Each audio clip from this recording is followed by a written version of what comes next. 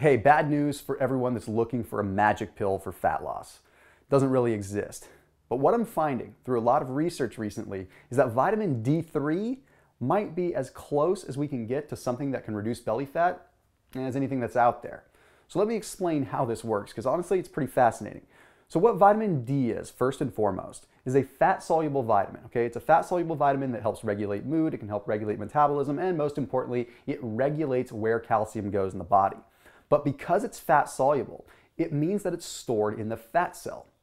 Now, start thinking about this. If you have an excess amount of fat, or if you're overweight, well, that means that most of the vitamin D that you consume, even if you're taking a supplement, is going to get sequestered into those fat cells and it's going to stay there, meaning you have less bioactively available vitamin D3 to do the cool things that I'm about to explain. But let's talk about how vitamin D3 actually burns fat.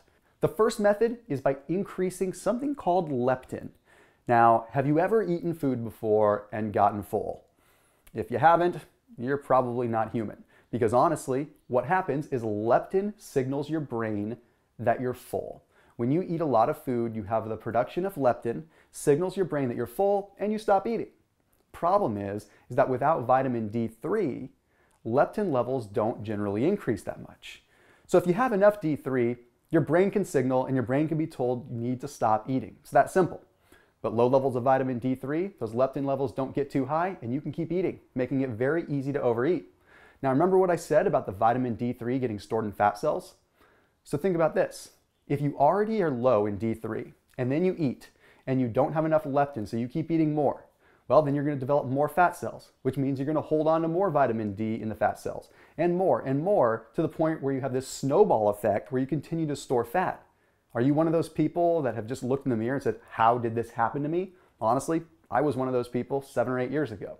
Okay, now the other way that vitamin D3 is proving to potentially be a good belly fat burner is through the modulation of the parathyroid and calcitriol hormones.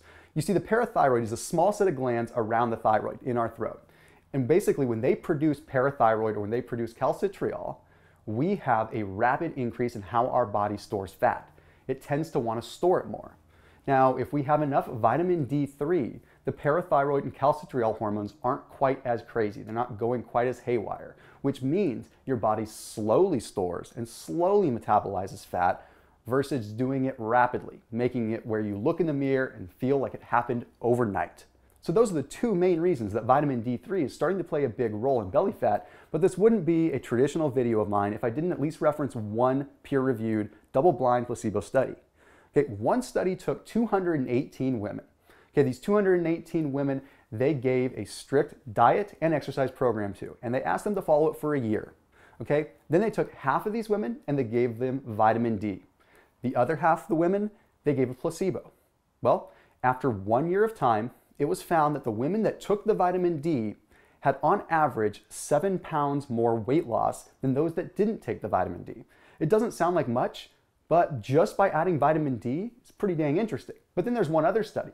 There's another study that found that those that were taking vitamin D3 had a better waist to hip ratio than those that were not. So, what I can hypothesize from these two studies is that potentially vitamin D could be a link between weight loss being somewhat site specific to the belly fat area.